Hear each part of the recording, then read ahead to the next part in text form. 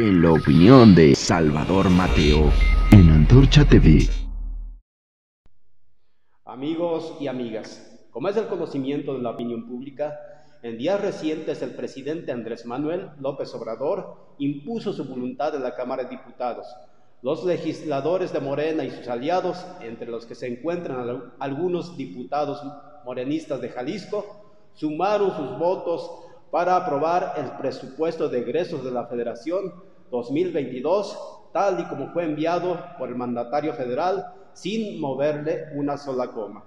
Por lo que en el próximo ejercicio presupuestal se privilegió nuevamente un presupuesto multimillonario para el tren Maya, para el aeropuerto Felipe Ángeles, para la refinería de Dos Bocas, todos sabemos que debido a estas obras faraónicas del presidente, no se pueden destinar recursos suficientes para comprar medicamentos, vacunas, construir escuelas y hospitales, participaciones federales a estados y municipios, profesionalizar a las policías del país, mantener los fondos metropolitanos, restablecer el fondo emergente para desastres naturales, seguro desempleo, estancias infantiles y promoción turística del país.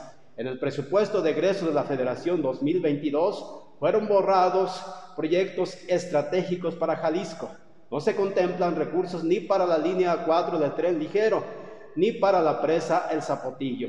Tampoco se contemplan recursos para conservación, estudios y proyectos de caminos rurales y carreteras alimentadoras de la entidad por lo que los afectados debemos sumar nuestras voces para que la federación regrese una parte de los impuestos que pagamos los mexicanos para que sean destinados en obras carreteras y servicios públicos que aquejan no solo a los jaliscienses, sino a la inmensa mayoría del pueblo de México.